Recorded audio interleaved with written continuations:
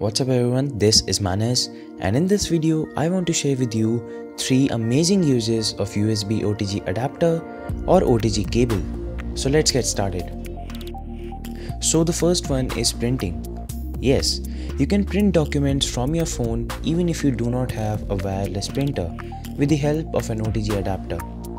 But to do this, you will have to download an app called PrinterShare and then you can easily print documents, photos or pretty much anything from your phone. This can be extremely useful if your printer is not wireless and you want to print something without having to open your computer. Just connect your printer with your phone via an OTG cable and that's it. You can print documents very easily. On number 2 we have charging another device. Yes, if you want to charge any other device, let's just take a smartphone for example, you can easily do that with the help of OTG. All you have to do is connect the two phones via the charging cable and then the phone connected by the OTG cable or the adapter will be able to charge the other phone. Now do note that this is not just limited to smartphones. You can do this with many other devices like Bluetooth speakers, etc. Now the third use is that you can connect USB headphones to your phone.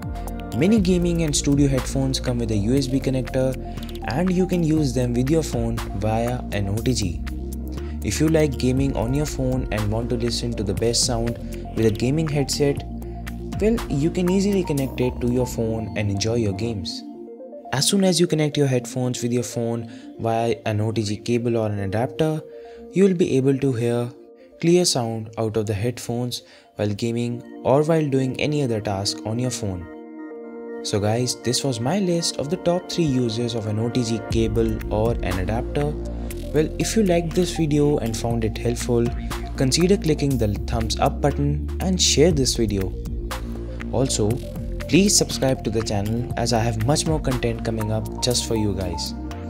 This is Manas signing off and I'll meet you in the next one. Jai Hind.